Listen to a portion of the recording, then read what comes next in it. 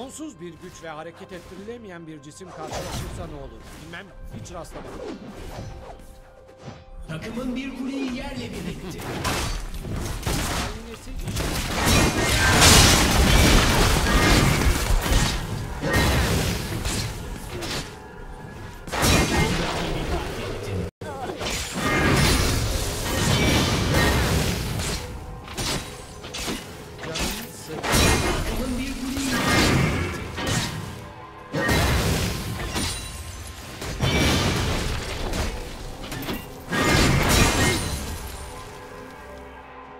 Zafere.